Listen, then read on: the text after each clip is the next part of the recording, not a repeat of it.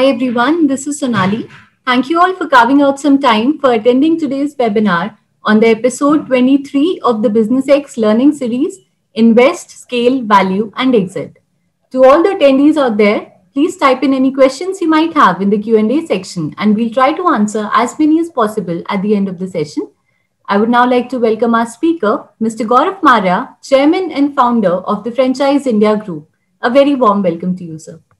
Thank you, thank you, Sonali, and welcome, friends, and welcome to another edition with BusinessEx, uh, which is an arm of Franchise India Group, uh, where we talk about investing, uh, especially in the startup space, and also helping companies to exit uh, from their current business. So today we're going to talk about out of the four topics which we take every time. Uh, we rotate the topics. We talk about investment. We talk about how to value businesses, how to scale your businesses, and how to find exit. Uh, today we will to talk about the scale part of it. And uh, we get a lot of uh, companies, uh, especially the early stage companies, and they, they really talk about scale. And today I'm going to talk about a very definite thing in terms of what is the right timing for scale and what you need to be ready before you even start thinking scale. Now, scale is an important part of uh, any organization journey. There has to be a time where you need to you are absolutely feel that you're ready and you don't want to lose that market share and you want to go fast enough in the market and go and scale that. I just finished a meeting with a with a company which was an EV player. Uh, they're a logistic company, but in elect- uh, electric vehicle uh, logistic business. Very clearly, a lot is going on on that. It, I think at least about 100 odd startups I would have actually interacted myself. And almost everybody is thinking about should I scale now? Now, you know that there is a conventional technology which is doing the fulfillment. You still have the same, uh, you know, uh, tempos which are out there, which are doing the servicing from a consumer viewpoint. Why would consumer like to see this change? Why would a, a logistic company would like to see this change? Why would a small retailer like to see this change? Why this change is compulsory? Why we all know that this industry is moving to EV, but is there a compelling reason, and what is a compelling reason? Now there is a lot of lot of discomfort because the their infrastructure is not ready, the charging stations are not ready. But in, in a conventional technology, you have petrol pumps, diesel pumps, and all these are available all over in uh, the city. So from a logistic player viewpoint, it looks like that I'm taking a big call for whom? You know, unless and until there is a compelling reason and their compelling value creation uh, needs to be done. But OEM is thinking, when Mahindra is thinking, when other companies are thinking, they they they are listed companies. They're thinking because they need to really see this change and shift and they know the value value of the organization would significantly change. Look at tesla what has happened. But when a small a startup is really thinking about doing and scaling it needs to really think through that what is compelling reason for that. So some of the reasons you need to really ask yourself before you even start scaling your business is that are you ready to scale? Which is very important and very honest answer you need to talk.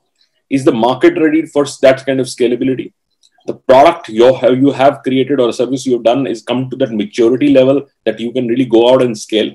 Are you still in the in the middle of developing the product and you thinking scale then it is a wrong idea. Your organizational capacity is ready which is going to be my topic for today.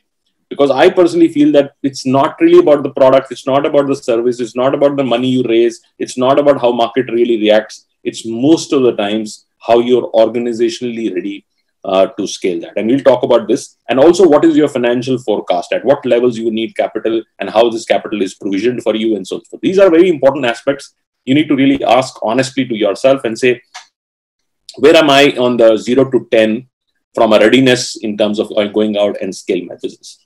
Second, is your clear roadmap ready for scale? Because scale is not just about uh, an ideation of going on a larger market share, larger top line, uh, better performance in the business and so on and so forth. It has to have a very definite month on month uh, guidelines set for yourself.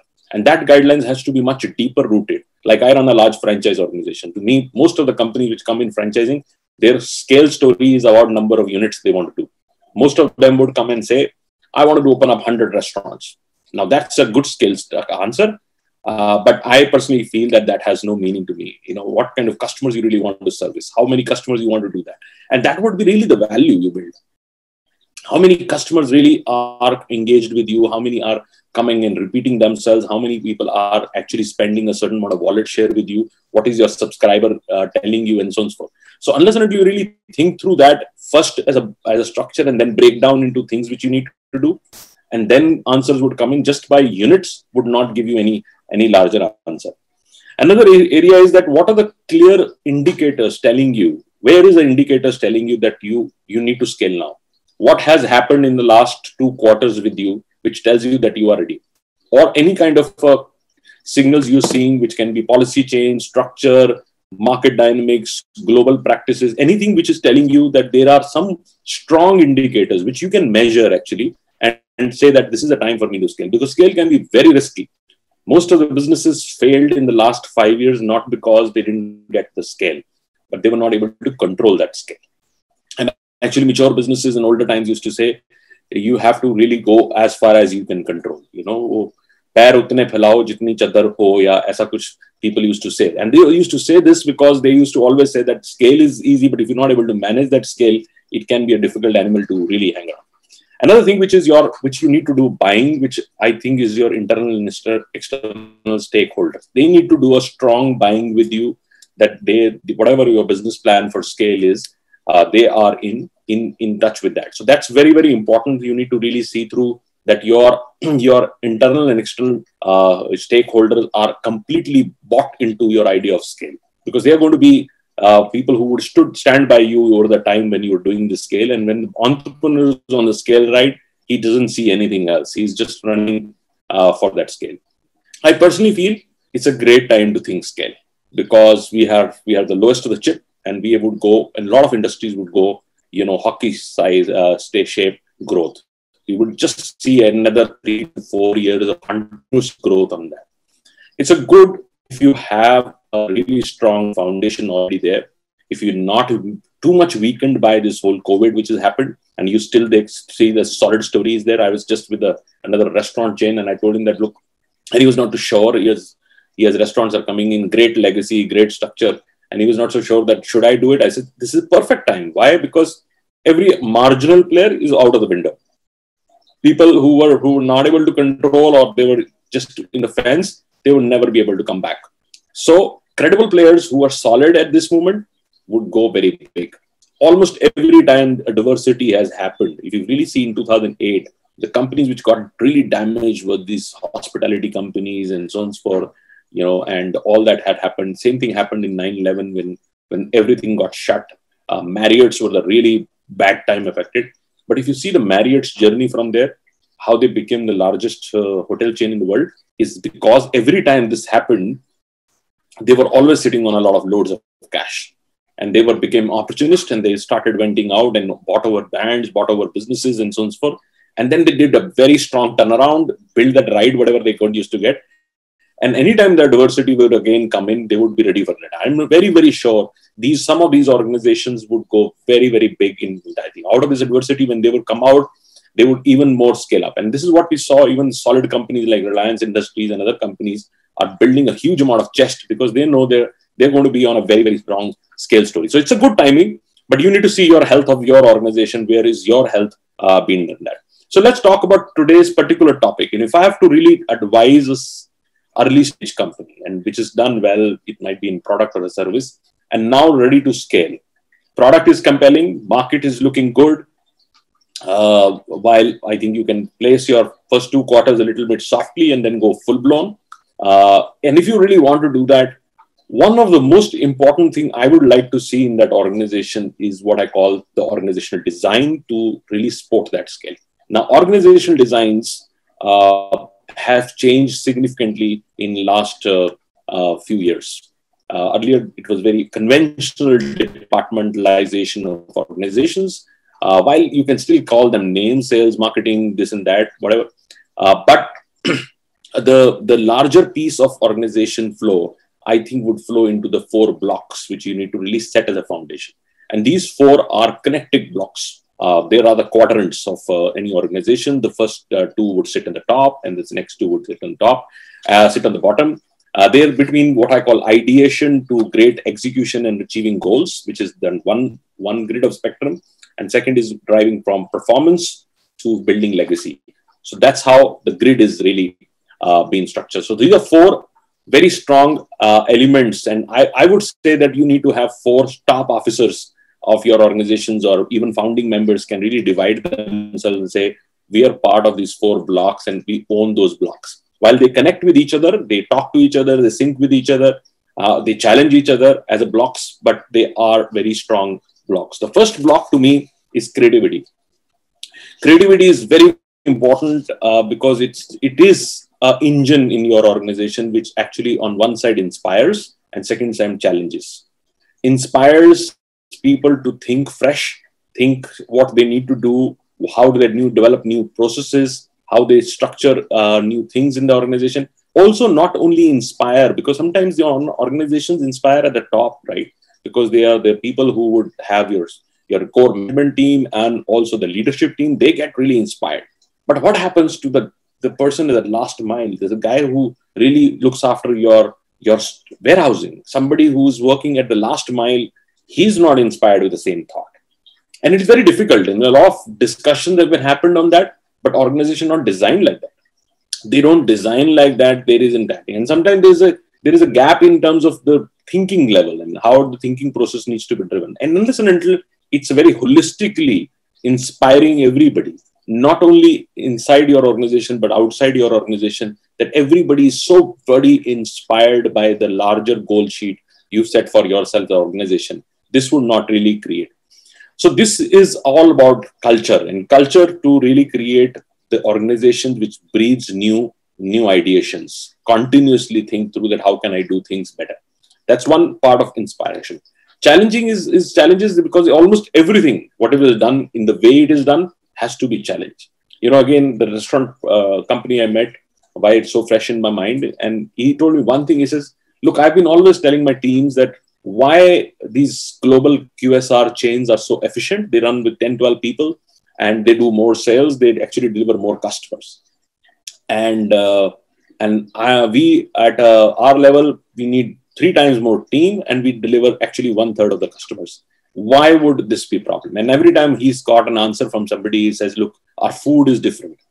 Now, this cannot be an argument. This cannot be an argument. I don't, I, I think McDonald's didn't have was now it looks like an American food where people like burgers, but actually it's not. It's, it, it created its own category and it created something which was good, it was fast, it was structured, and that's how they delivered the product. So uh, fundamentally, I think nobody really wants to challenge this. Why nobody in India ever challenged that there would be a, so to say, Indian QSR which would run by leaner staff and leaner people, and we will still deliver great product, great structure. We give up to the convention, we just follow the path which everybody else has followed and probably get the second or third level results, continue to get that. And that's why I always say that why uh, the food which Indians love is like a biryani or a food and that thing. We don't have even a chain which has 100 units. And we have companies which are coming from outside and they're doing IPOs. The Domino's did IPO, Burger King did IPO. And these are all companies are the food which is not in the first three or four or five, pri- uh, you know, favorite foods for, for so to say, Indians because the business model is working for them and they, they are able to scale fast while these companies are not able to scale because they have a lot of uh, uh, challenges in that. So challenging is also about really challenging every single process, system, and the way things are done. Unless and until we really go out and really do these two things, inspire and challenge everything, your department of creativity would never work. and also, I think as I said, you need to inspire almost every stakeholder. You cannot be a lone inventor or a lone thinker. Uh, you need to really have everybody as an entire organization thinking through. Another thing which is very important is that you need to really think through that scale comes with a lot of uh, uh, you know challenge. I've seen like in service businesses, I've seen the consistency is the biggest challenge. Service businesses has never been a problem of demand generation and things of that nature, but consistency breaks you know, if I was a dry cleaning company, my service levels went down. I was a food business, I went down. I was a, you know, any other uh, business. I was when I scaled, I I was not able to give that. This all aggregators of laundry came in. Uh, they were, their consistency was not there. They were not able to really handle the the whole customer experience, so to say. They were able to scale that. They got numbers in there because they were driving a lot of demand side from technology and things like that. But their their um, you know delivery cycle and the consistency really failed? How do you really address the real problem? Sometimes scale is just not doing it big, it's all about doing it consistent. It's very, very important to do that. In the product side, I think change cycles are becoming very important because how do you really change that and, and becomes very, very challenging. And also new markets, new uh, environments also become a very important aspect. So you, how do you really create this creativity as a, as one big unit of your entire thing? And you should have somebody as chief creative officer of your company, which continues to think on critical thinking and also innovation. And how this is married uh, to even the performance of the business is very, very important. The next block to me is objectivity, which actually creativity and objectivity sit next to each other. If this creativity is not completely married to objectivity, the business would go wrong. Uh, and if you just run objectivity without creativity, also it fails. So objectivity is really about driving what I call absolute performance. How do you run performance? But objectivity is also coming not from your your personal personal considerations, your your own uh, viewpoint on things. And this is what has been the problem here. We are not listening. We don't understand business intelligence. We, what is business telling us? What is business telling us? What are numbers telling us? What are micro numbers telling us? What, where are we going wrong? Are we going wrong in our margins reducing? While people are using, but they don't, don't want to pay us more. Our margins are shrinking. So what do we do to improve our margins? How do we scale up? Most of the times you go down the ladder. I always say that there's this idea you don't need in the boardroom if most of the times when people come in the boardroom and say, how can I double my market share? And somebody say, can we drop the price? Now, this is no idea. This is somebody is, is giving you what is easy to do. You know, and this is what almost everybody did. Uh, every time you want to take a bigger share, like all these Zomato, Swiggy's, why they're struggling? Because answer was clearly about creating a greed. Now they cannot sustain that greed. They've started giving people one plus one, one plus this, discounting on a heavy structure. Now this ruined the restaurant. This ruined uh, Swiggy and Zomato. None is doing it. Nobody really thought that. why can't we go and deliver something more so that our margins really improve? What is the data telling us? Are people only interested to buy cheap? Answer is no. People want uh, better things, and that's where I think good companies, great organizations like Apple and other companies have always done well because they have always sustained and improved their margin. Every single second step is every single process in your system and organization has to be uh, developed with a strong test and measure. Everything has to be tested, everything has to be measured. If it doesn't fit into this, then there has to be some kind of correction. You need to also set strong performance benchmarks, very, very strong performance. You need to sweat out every single asset in your organization. Very, very important. You cannot take, if it is not like these days, what happened in this COVID everybody is on asset restructuring. Almost every company is on asset restructuring. They're all thinking how how they can really change the uh, you know dynamics of their asset deployed. And uh, everybody has really one answer to tell me that we we never thought we can do this much much better, much more efficiently. Actually, this opportunity is always there. Sometimes you're forced on that opportunity. Sometimes you consciously go on that. What is your correction? Another thing which I've seen if you go on a wrong path maybe you did a wrong acquisition maybe you did wrong uh, you know vertical or something like that and you try to really adjust it fix it and that thing and you actually kill the core business. And and this is what i would give example of oyo did wrong wrong acquisitions and they they started feeding those acquisitions with good money and that good money would never be able to really do that. So one has to be very conscious just because of scale you're not going on the wrong path and if you have, because you cannot sometime every time predict that, you need to have a definite at and say, if it doesn't work beyond this, pull the plug. If you delay it too long, even the largest of the organization, look at Anil Ambani Group. It's not that they are not a great group. They are very, very good. They've done things in a certain speed, which I think should be a book or a case study for Harvard. You know, if you really go deep down and see the group when they formed and what verticals they went, and almost every vertical they became a market leader. Somebody who was not in entertainment became the largest entertainment company. Not in infrastructure became the largest infrastructure company. Not in this every smallest thing which they did they were able to scale every business to a certain extent because he was a very ambitious entrepreneur. But two or three or four or five different steps didn't was not able to correlate and they went too far on that. And that really put the group down. So one has to really think through that how do you really correct it very, very fast? Where is correction coming in? Not taking a entire thing is foolishness. You need to take challenges and you need to take risk. But how do you really not delay that risk and come out of it is very, very important. And every single uh, uh, process in your system has to have a process owner to drive extreme objectivity. And these all people need to meet weekly to see how they're connecting the dots. And this is very, very important uh, part of the objectivity. The third piece block to me is communication. And communication is very important. And how the communication, how you're communicating to the world, what you stand for, what is in that. And sometimes you have a great product or a service, but you're extremely bad in communication. You don't even go out and tell what you stand for. And that's something which is uh, which is to change. Now the world has become very different. You know, people are communicating very differently, different platforms. You hear things. We've actually forgotten where we get information now you you actually sometime I, I in the evening i'm telling myself i read something but i don't know where i read it i'm, I'm just being Im- given and blasted on various levels of information which is coming through it's no more one part of the mediums. It is can be multiple mediums different people. It can be an individual communicating to me a group or a this or any other channel which needs to be done. So this is not a problem. Reach is not a, so much of problem anymore. While still the marketeers are thinking of creating reach they're trying to use smarter tools and things of that nature that is no brainer i mean if you hire a 35000 rupees a young guy who's just out of college can also know what is going on because he's also similarly flowing through and he has much better ability to understand new technology use influencers use that whatever you want to do that that's easy what is the difficult part is go back and ask yourself what is what you want to really do and communicate and how consistent you are. So, which means your messaging and your consistency are the two important things of your communication.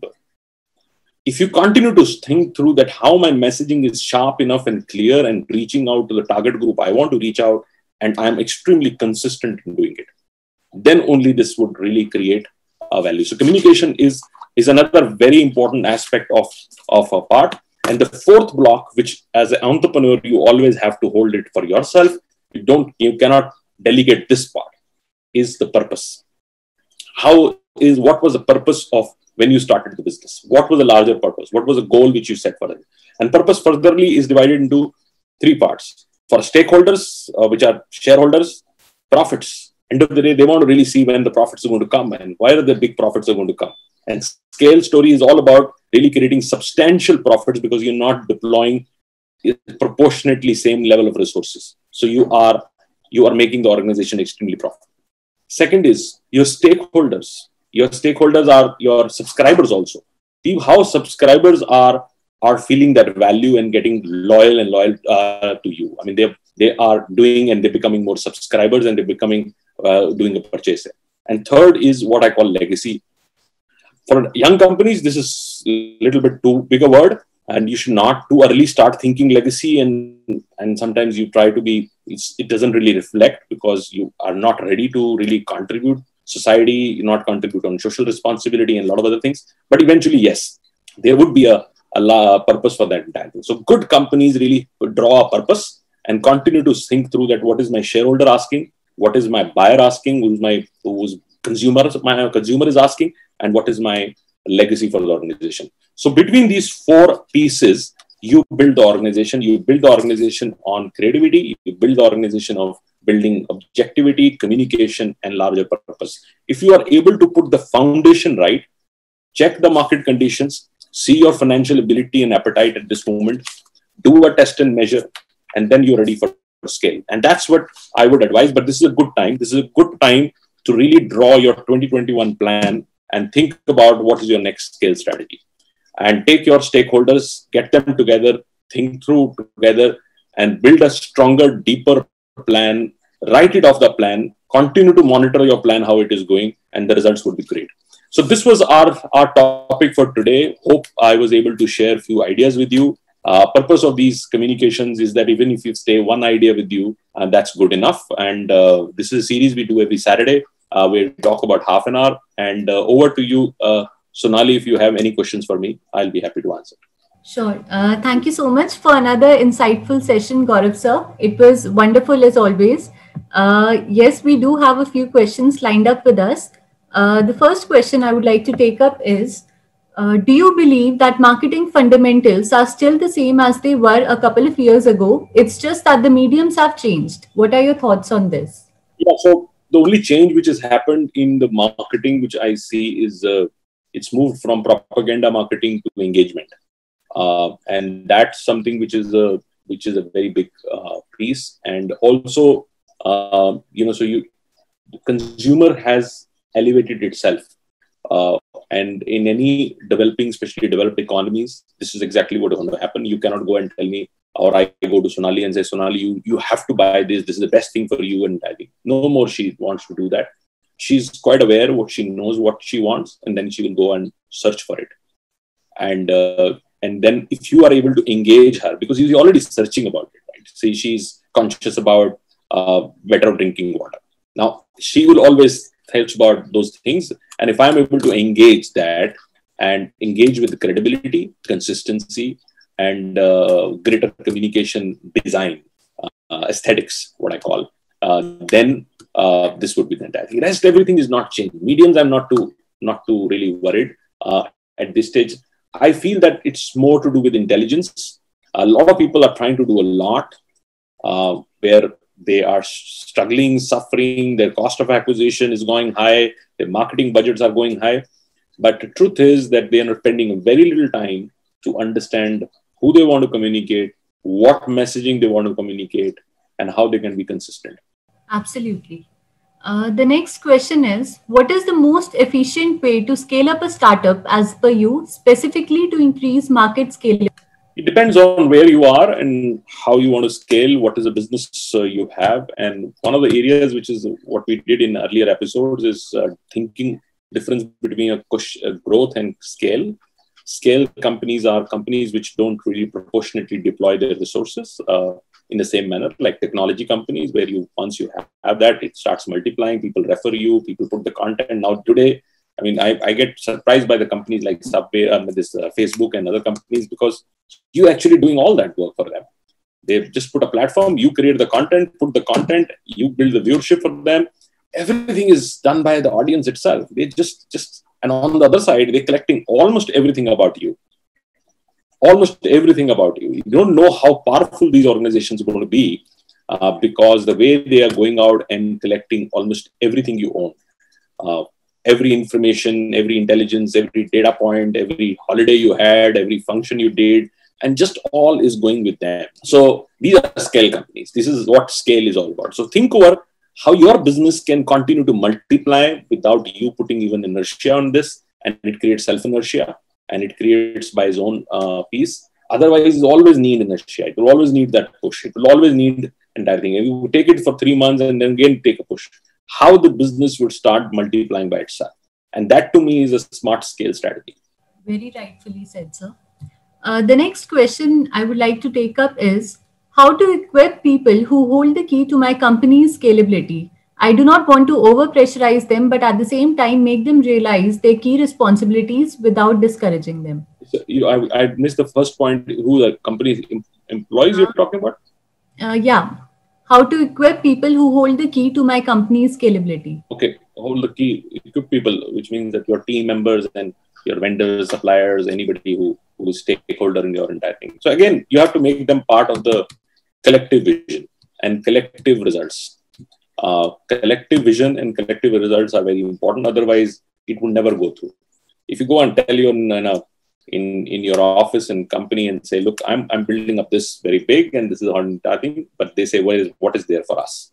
Why would we put in more hours and more effort and put thinking and uh, unless and until you, you make them somewhere part of this whole story?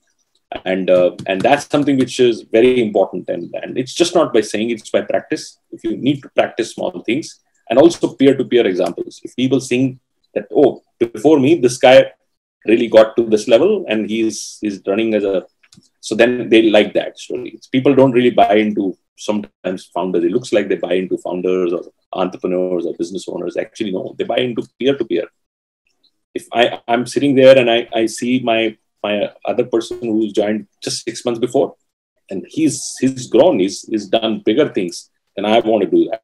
I, I want to be also part of it. So people like that story more than anything. So how do you really invest into that? How do you create infectious environment where things really start multiplying? Otherwise, you'll always have a block. Uh, the next question is uh, specific to the person's business. He says, with so much e-commerce, what is the scope for brick and mortar retailing? Should one invest in it? Yeah, yeah. I, I still strongly believe in brick and mortar retail, and uh, not only me, but worldwide. I mean, IKEA has opened up a store in Bombay, big format. Again, Uh, I, I, genuinely feel that environments are going to stay. Uh, you know how these environments are going to change is anybody's guess. Um, but we would like to be in environments. We always would like things around us, and uh, this world was always built, and we always like to build as humans and want to see things around us. So, uh, so well, I think uh, brick and mortar, smarter brick and mortar would run. Uh, specialty brick and mortar would run. Uh, a lot of uh, hyper local, last mile convenience, O2O strategies, online to offline integration would run. All that would happen, and this is what we've been talking about last 15 years. Actually, nothing has changed, and no disruption I've seen who can come and say uh, brick and mortar would be able to not be able to do that. So that I've not neither seen or not seen anybody really challenging that fact and almost rather almost all companies in past uh, like i'm handling grofers stores now uh, Kirana stores uh, and um, so now it, i question myself why they want to do Kirana stores uh, when they were actually was challenging Kirana stores now they're empowering Kirana so they were rather creating their own stores everywhere. So it's a it's it's a fundamental that uh, uh, eventually you need to reach out to consumer and consumer is everywhere. And wherever they would go, you have to be part of it. So that's how uh, this uh, this really runs. Uh, the next question we have is how can businesses bringing new concepts for the people thinking about the future market their concepts? Yeah so we always build businesses or products which are for future. It has to be problem solving. Uh, it has to have a very genuine problem solving and a stronger desire for a consumer to shift. You know sometimes you are solving a problem but there is no no real rush to shift. You know like e-vehicle. If you really see a vehicle this is something new? No. 15 years back anand mahindra 20 years back actually bought into a e-vehicle company led it was invented by philips in early 90s why technology took 30 years to implement? It's it's it's never about innovation uh, alone. It's also about the the reason why this would shift. Like generic medicine, we all knew generic medicine, uh, but there was not a policy in the government to say doctors have to now write along with the medicine they're subscribing a generic code on that, which means that they, they know what is a generic option of this. Now, this is being done by MCI now. So now a patient can really go to a chemist and say, look, I, I don't want an expensive one. I want a uh, alternative uh, generic product. Now, these are very clearly the timings of uh. So when we started working on generic medicine, it was four, four and a half years back, and I clearly saw that this industry would, would go into. I think it's still not really reached out.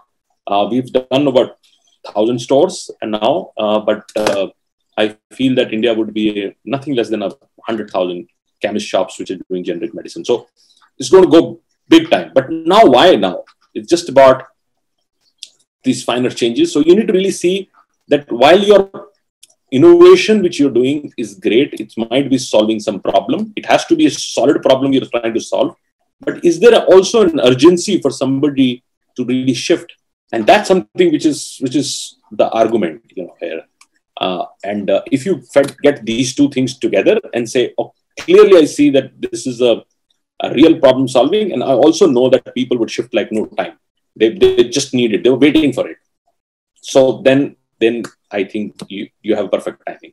Right. So I would just take up the last two questions for the session. One question is uh, We are a three years old company in Bangalore and we are in the initial stages of development of our business. We are planning to expand our business to other cities like Chennai or Hyderabad. Is it the right strategy to start now or should we wait for some more years? Please advise. You know, so I am high high growth guy. Sometimes uh, it's a little bit too much of infectious, but uh, include not only to my clients but it include to me. Uh, so I always say that grow, and growth comes from only three things. There's no fourth idea. One is new markets, new products, and new channel. You can only grow by these three things. There is no fourth idea. So every time continue to see what can I create a new product which can give me growth? What can a new market I can go which can go growth? and what is the new channel I can use to sell my product. So, but now I, I am no in not a position to really sell you that uh, getting into a new market would ask for what gestation, control, you know, capability to handle all that. I'm not able to answer because I have no visibility of your business. Uh, but if I feel that this is is in under control, then then why what are you waiting for? You should go. You should go to markets, and and that's something which should really create a growth for you. Absolutely, sir. Uh, and now the last question uh, for this session. Uh, the question is, can we have one vision statement that caters to uh, the uh, shareholders' interest, the stakeholders' interest, as well as the legacy? You know, so there's, I mean, very difficult to make one vision statement on that, but I think uh, businesses with purpose would always have these three things important. they would obviously start with shareholder because shareholder needs to see sustainability of organization and a larger value creation. Uh, and then cares also cares equally. We have to hand in hand care about your your you know subscribers, people who have who buy from you, consume from you, and so on so forth. They make you big, uh, which needs to be done. And uh, and third is uh, what you leave behind. Uh, what is the organization uh, you are building and things like that.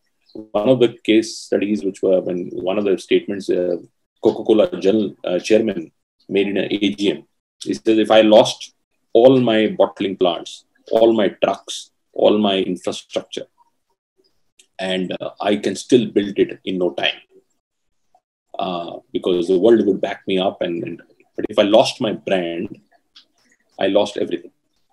So so that's also very important sometimes that the brand is also another very important stakeholder in the structure that how you really proprietary strongly handle for, for uh, guard your brand what you're creating. So so think through it. Uh, scale is a good very very important uh, strategy to really uh, look at it. It's also timing. It's fun. It is it is worth riding it. It's what people always i've seen so many industrialists so many business owners. I'm fortunate that i've i had opportunity to work with 8000 odd brands decision makers, CEOs, legacy businesses, generational industrialists. And when I sit with them over a drink or something, they have these three, four, five years where they did something very big. And rest they were, they were custodians. They were custodians of managing time, but they were time where they were creating something very big.